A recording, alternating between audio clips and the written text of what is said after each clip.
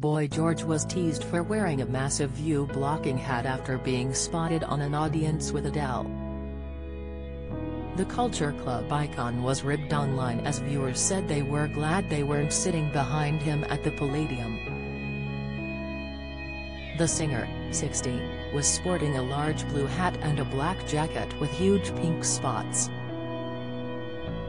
Boy George, real name George Alan O'Dowd, was spotted at the intimate ITV gig singing along to the music megastar and clearly hoping to stand out from the crowd.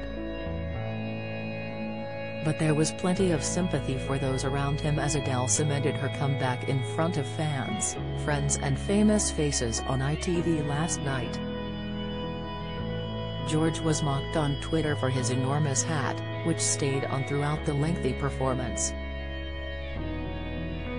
One wrote, which unfortunate A-lister is sat behind Boy George with that bleeding hat hashtag an audience with Adele hashtag restricted view. Another stated, you wouldn't want to be sitting behind Boy George with that huge hat on hashtag an audience with Adele.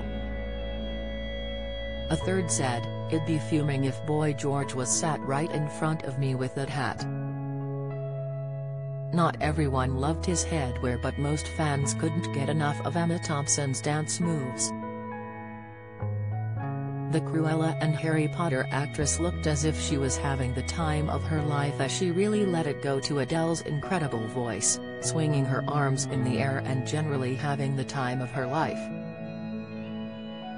Viewers were quick to comment on Twitter that her dancing was a highlight of the show. One commented, not sure at this point if it's an audience with Adele or an audience with Emma Thompson hashtag an audience with Adele a second said, Emma Thompson is giving me life with her dancing.